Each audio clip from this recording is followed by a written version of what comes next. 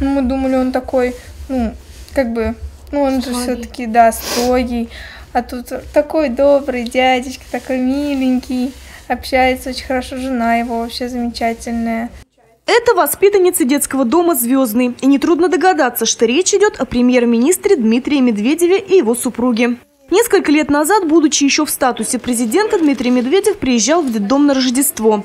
Познакомился с ребятами, с их творчеством и внезапно для всех пообещал помочь с ремонтом учреждения. В 2012 году обещание было исполнено, причем в лучшем виде. У ребят появились не только комфортные комнаты для проживания, но и творческие студии.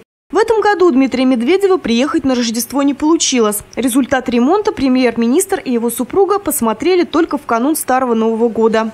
В комнате психологической разгрузки ребята выводят рисунки на песке. Премьер признался, что раньше подобного не видел. Интересная штука, я, кстати, не видел никогда такого. Как бы песок и подсвеченный.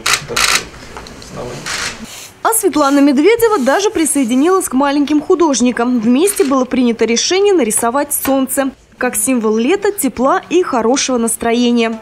Дмитрий Медведев особо тщательно осматривал все новые студии и комнаты отдыха и уже на чаепитии поделился впечатлениями.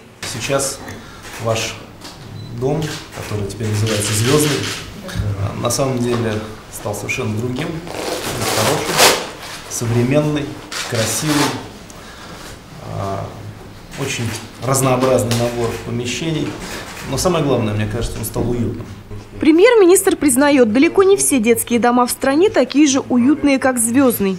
Конечно, мы будем стараться сделать все, чтобы а, и у вас все было нормально, и в других таких местах тоже было все нормально, потому что ну, еще некоторое время назад у нас были проблемы, сейчас их стало гораздо меньше, но это не значит, что в других детских домах ситуация стала стерильной, есть проблемы. Благоустройство детских домов, проблемы их выпускников с жильем, учебой и работой премьер-министр пожелал обсудить в отсутствии телевизионных камер. Елена Белова, Олег Мелехин, РТВ Иванова.